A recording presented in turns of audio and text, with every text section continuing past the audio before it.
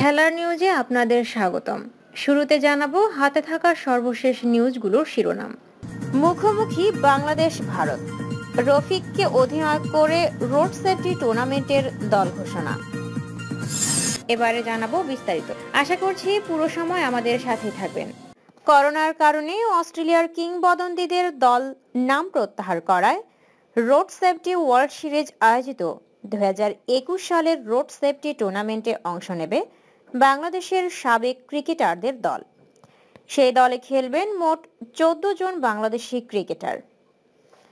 টুর্নামেন্টে বাংলাদেশ লেজেন্ডস দলের হয়ে যারা খেলবেন, তারা হলেন মোহাম্মদ রফিক, জাভেদ ওমর, খালেদ মাসুদ পাইলট, খালেদ মোহাম্মদ সুজন, রাজিন সালে, মেহরাব হোসেন অপি, নাফিস ইকবাল, হান্নান সরকার, আব্দুর রাজাক আফতাব আহমেদ, মুশফিকুর রহমান, মোহাম্মদ শরীফ, আলমগীর কবির।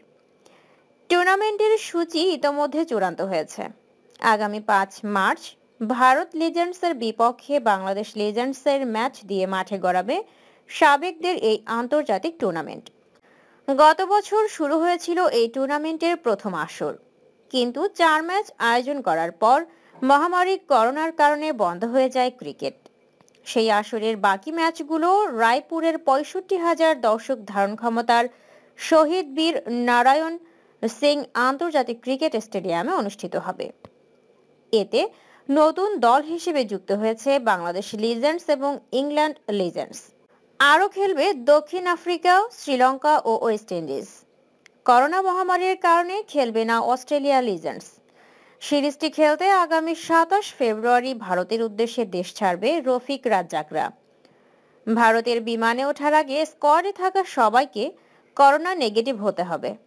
এরপর সেখানে পৌঁছে দুই দিনের কোয়ারেন্টাইনে থাকতে হবে ক্রিকেটারদের। দুই দিনের কোয়ারেন্টাইন শেষে জৈব সুরক্ষা বলয়ের মাঝে এই টুর্নামেন্ট খেলতে হবে তাদের। বুধবার এই টুর্নামেন্টের পূর্ণাঙ্গ সূচি প্রকাশ করা হয়েছে। আগামী পাঁচ মার্চ থেকে ভারতের রায়পুর, ছত্তিশগড়ে শুরু হবে এই টুর্নামেন্ট।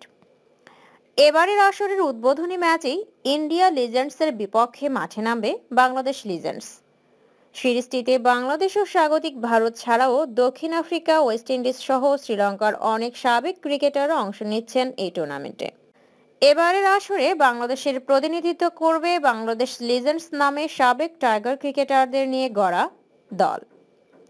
ষোলো মার্চ পর্যন্ত চলা গ্রুপ পর্বের খেলা শেষে শীর্ষে থাকা চার দল নিয়ে অনুষ্ঠিত হবে সেমিফাইনাল। সতেরো এবং উনিশ মার্চে অনুষ্ঠিত হওয়া দুই সেমিফাইনালের পর একুশ মার্চ মাঠে গড়াবে ফাইনাল।